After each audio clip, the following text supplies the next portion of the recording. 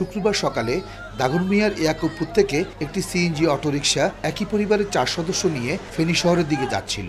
পথে শহরতলির পাঁচগাছিয়ার কাশিমপুর এলাকায় পৌঁছালে অটোরিকশাটির সামনের চাক্কা রাস্তার গর্তে পড়ে যায়। এই সময় বিপরীত দিক থেকে আসা দ্রুতগামী একটি ট্রাক অটোরিকশাকে চাপা দিলে ঘটনাস্থলেই চালক শাকিল ও যাত্রী জেসমিন আক্তার মারা যান। আহত হন আরও তিনজন। পরে তাদের উদ্ধার করে সদর হাসপাতালে ভর্তি করা হয়। এদের মধ্যে দুইজনকে উন্নত চিকিৎসার জন্য ঢাকায় পাঠানো হয়।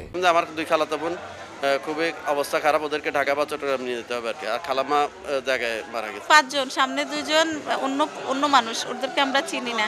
আর পিছনে আমি, আমার ছোট বোন, আমার মা। আমার ছেলেটা আমার কোলে ছিল। চারজনের মধ্যে দুজনের অবস্থা খুব খারাপ। মহিলা দুজন ওনাদেরকে আমরা রেফার করেছি সিটং মেডিকেলে দুজন পুরুষের মধ্যে একজনের অবস্থা মোটামুটি ভালো আরেকজনের অবস্থা আছে। অভিযুক্ত ট্রাক চালকের পরিচয় শনাক্ত ও গ্রেফতারের চেষ্টা চলছে বলে জানায় পুলিশ। চিনজি চালক শাকিল এবং জেসমিন আক্তারদের লাশ উদ্ধার করে সুরতাল প্রসূর সহ মর্গে প্রেরণ করি। আহতদের উদ্ধারপূর্বক আমাদের পুলিশ পিকাবান যোগে তাদেরকে ফেনী সদর হাসপাতালে প্রেরণ করি এবং তাদের চিকিৎসা ব্যবস্থা করি। ঘাতক ট্রাক নিজে পুলিশ হেফাজতে নিই ঘাতক ট্রাকটি জব্দ করা হলেও পালিয়ে গেছে চালক। বক্তিয়ার মুন্না, সময় সংবাদ, ফেনী।